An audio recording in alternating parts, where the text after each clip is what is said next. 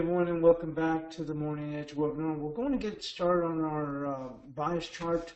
Um,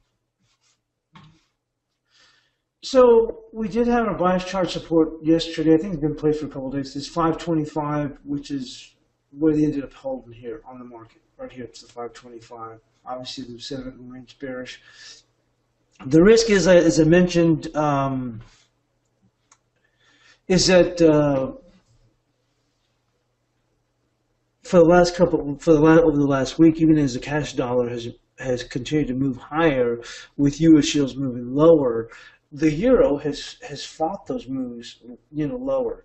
So um, we're going to go on and uh, take a look how this stands. Uh, but the risk is going into the meeting. Hey, we're in a, in a tricky situation. I think uh, I think you're going to see some reasonable two-way action. Um, one of the things that we also have, obviously, tomorrow's NFP, and on the backdrop of, of the strong ADP, uh, which was just a blowout number, uh, is obviously going to put greater emphasis on the FOMC to raise. But at this point, it's almost priced in as an inevitability. So it might be a counter thing where it's, you know, at this point now, buy the rumor, sell the fact. So I think uh, just as one strategist, uh, the lady I can't remember her name out of Frankfurt was stating she thought the ECB meeting was going to be far more important because of that same reason. And um,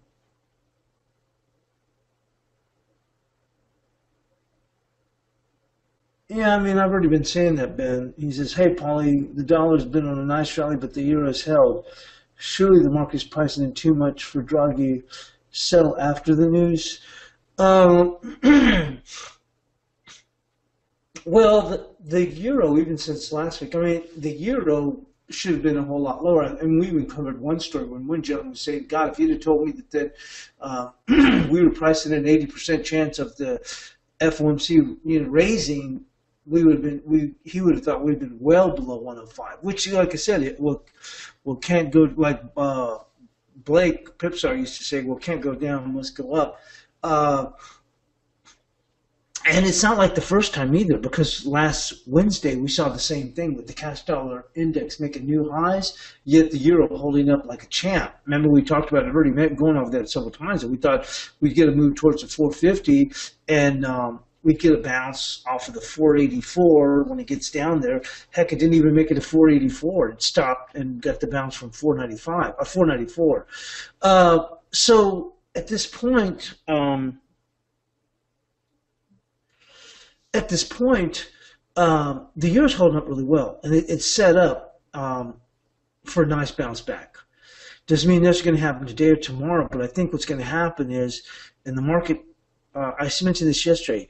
I'm not telling you; the market is essentially telling you that despite this this uh, what appears to be almost an inevitability, and I said almost, uh, that the Fed would raise rates, uh, you know, in uh, next next week, is that the euro continues to hold up. So once we get past that, the only way the the dollar would keep on gaining, uh, the way I'm looking at it, is if the Fed were to say, hey, they're, they're ready to keep on going. You know what I mean? Like, you know, they're saying, hey, the pressure seems there, we're going to have to, we're going to stay on top of this. We're not going to let this get away from us. I don't really see the Fed has taken a long time to get to where we're at right now. It took them a long time. They took a lot of heat for long, and you know, hey, you got to give them props. Look where the U.S. economy is now. They've managed to steer the ship, which went through some pretty troubled waters from 2010 all the way up to where we were just recently. Uh, basically, 2000, late 2014, early 2015. So, uh, I'm probably closer to 2015. You know, things were still you know questionable. Um, I think after a rate hike in December, and if we get one uh, another rate hike in March, I think the Fed wants to sit back and let it seep into the economy. You know, like I said, you're going to hear a lot of that stuff. Uh, mark my words. Uh, you're going to hear a lot of that stuff afterwards. If they raise, they're going to say, well, uh, you know, it takes six months for, uh, you know, an interest rate to be felt in the economy. You can have two in a very short amount of time. And, you know, they are going to make you know the thought that the Fed's going to want to you know be on pause for that. Uh, Pedro says, can you please take a good look at WTI later on the webinar as oil became quite active yesterday and today? Yeah, we certainly will. We will. We've been talking about adding that uh, already. So let's go and take a look at the euro for right now. So we had support at 525 on our bias chart. Uh, the low for the day was 525. And we've got the bias pivot here at 568.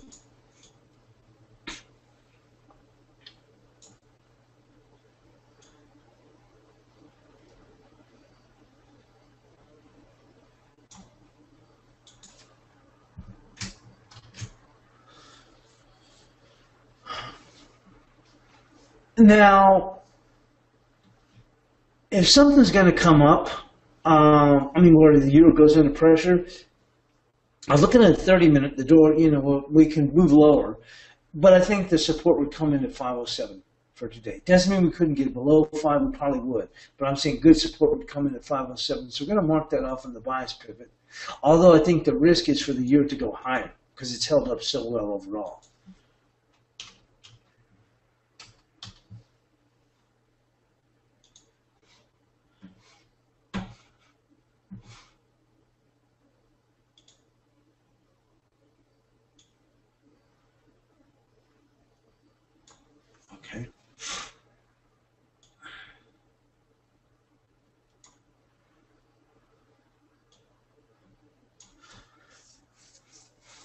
So I think that's a risk, but I think today for support would be 507. I think we could, if we go down there, in all likelihood, they're going to go in and take out the five. And there's some other support at 494. But this would be, if you're, you know, it'd be the market potentially, if it, you know, he were to say something. I don't think so because there's just not the, the, it's just not the space for it to necessarily move a whole lot lower. He have to say something quite dovish for this to make a move. But if it does, um, I think it'd be very herky jerky. We get down there. Um, but I think you'd see some very solid support around 507. So what are we looking at on resistance? The resistance is going to have to be 606. 606. I mean, actually, you know, we can go even higher. I'm going to go and give this for the resistance because we're going to be spreading it out. Um, it's going to have to be this 630 right here. That's going to be resistance because we can go get past this shoot up here and then struggle up here. So resistance on the euro is going to be at 630 for today. Obviously, the press conference is going to take on, you know, its own thing.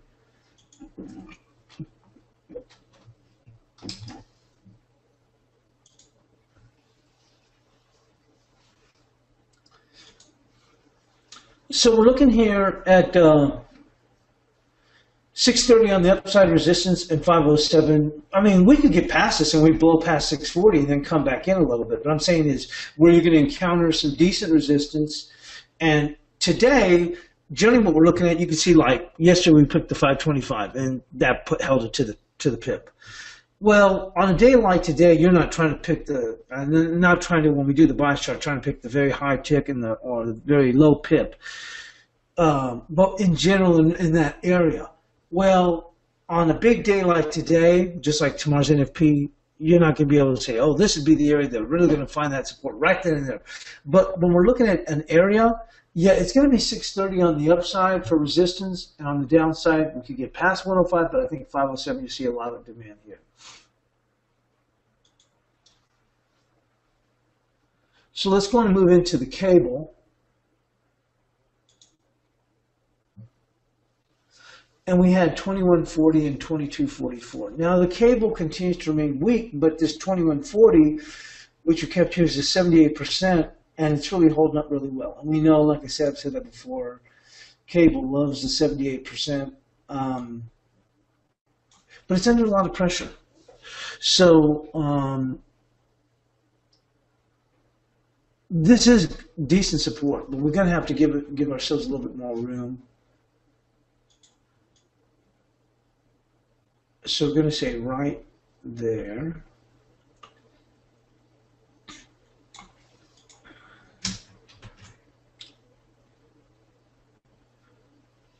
Ah, that's not even barely very much.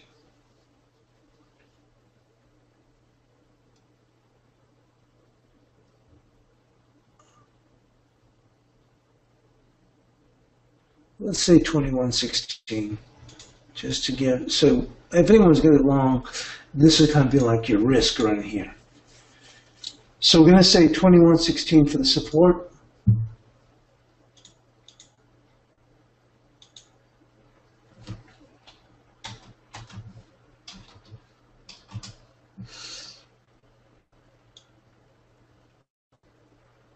Yeah, let's take a look at resistance.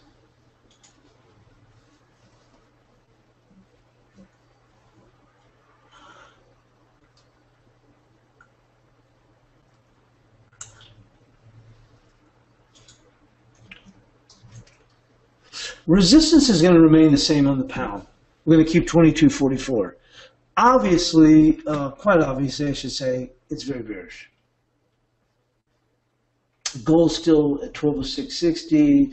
I think gold could really get a, a, a, pretty good firm bounce. If you get, if Draghi starts to acknowledge strength, I think gold and euro starts moving higher, this gold could really could really take off like nobody's business. I mean, it's been really pushed so hard, uh, we could really start to move higher and see a pretty nice trade in the gold market. Um, let's take a look here.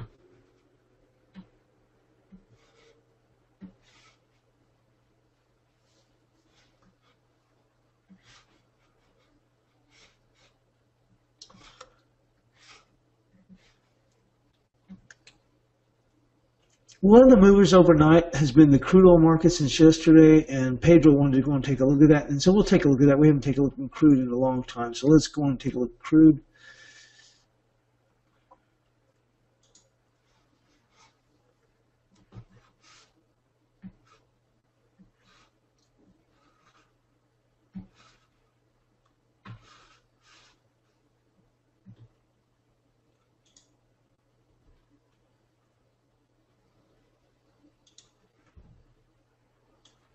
This thing is really falling out of bed. I haven't done any work on this in a long time. Hang on.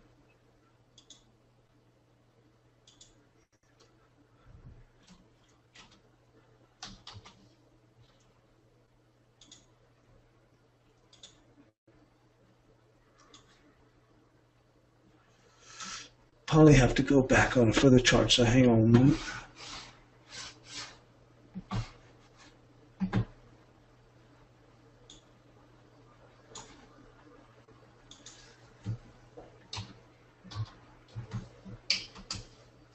So we'll take a look where it stands on a two-hour chart.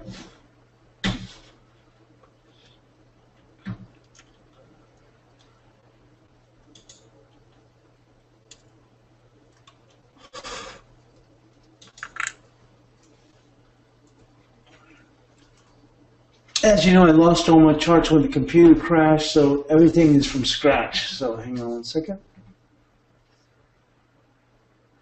We'll take a look at where we stand on the two-hour chart here. See if we can find something.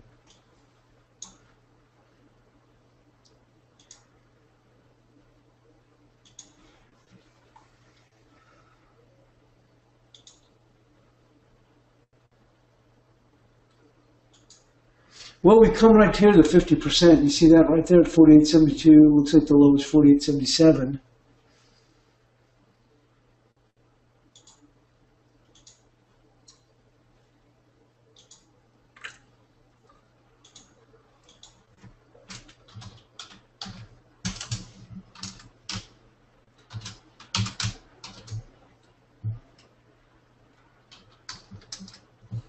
Okay.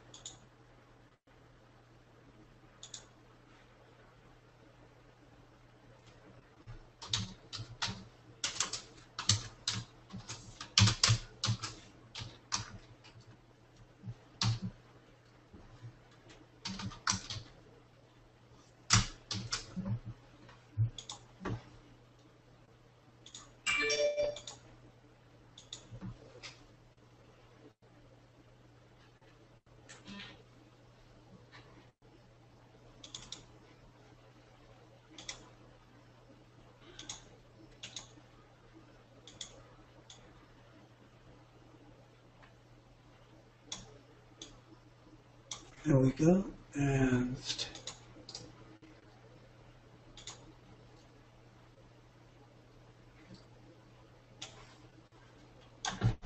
oh yeah, that's good support right there.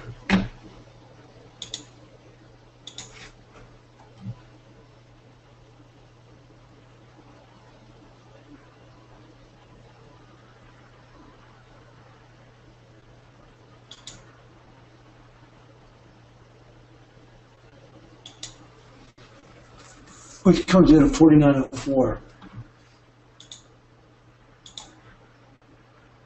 Now, this is on a continuous chart.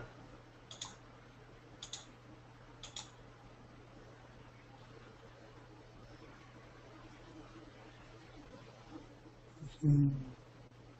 4904, so let's mark this on.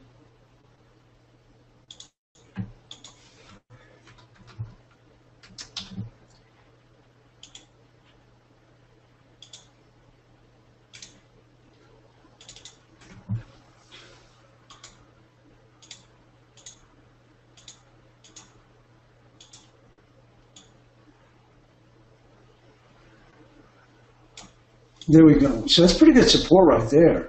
And we came right into the 50% too. Or we missed it by what, two cents, I think it was? So very good support there. This market is really, I mean, if you were short, you'd be looking to cover, tighten up those stops, and you definitely wouldn't want to be initiated in any position at this point.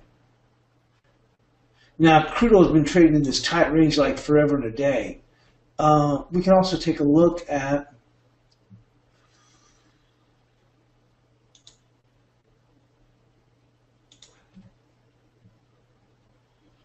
Hmm.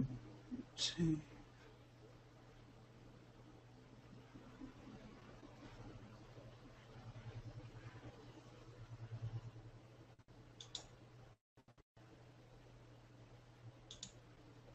And you see that hit the 161% right there.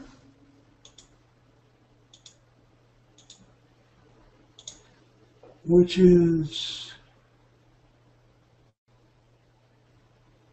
1487 of the most recent range.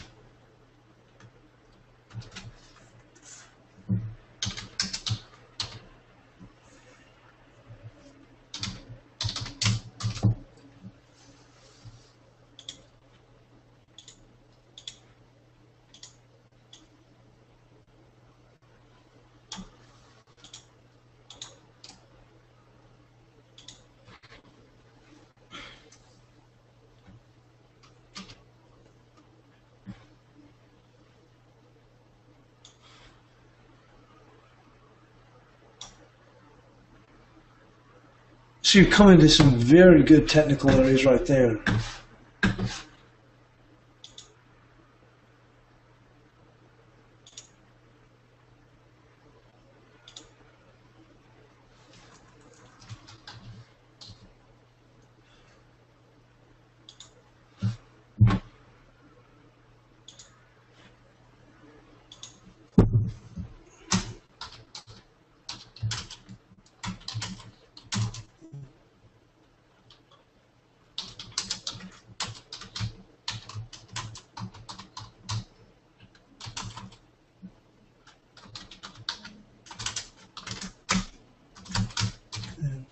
Just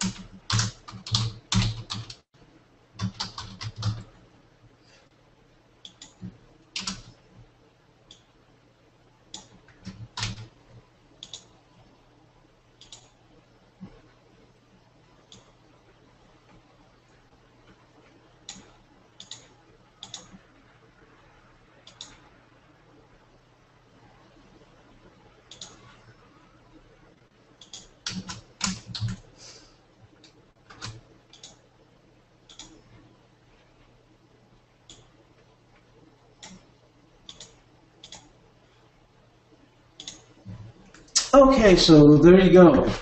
And then coming into some very good support there on the crude.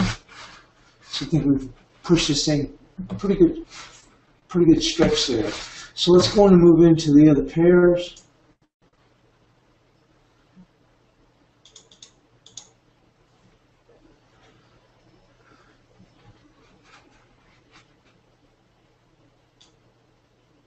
Next one up is the Aussie dollar.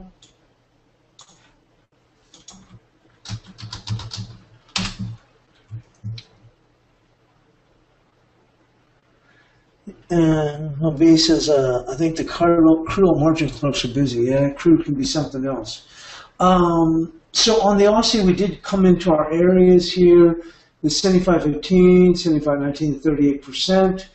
Um, we had 75.15 as support. We even dipped just below 75 with 76.26 as resistance. Um, so we've already come down here. Now, like I said, we could see a little bit of a dollar correction going into next week. Uh, if we get past the FOMC, we're already starting to see the Aussie trying to pick itself up after a pretty good pronounced fall.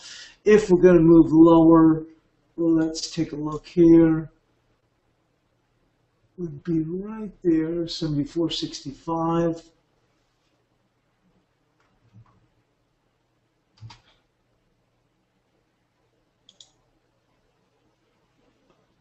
But I think this is pretty good right now here. Um, I mean, for a risk point, people are saying, well, trying to get long, where would be the support? You'd have to say the 74.65 right in here. We'll mark that off.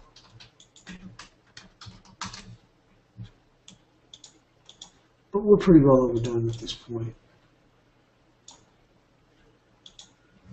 And resistance would be 76.09.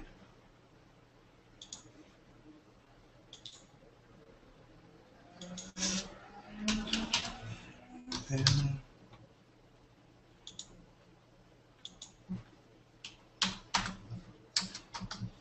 Still bearish.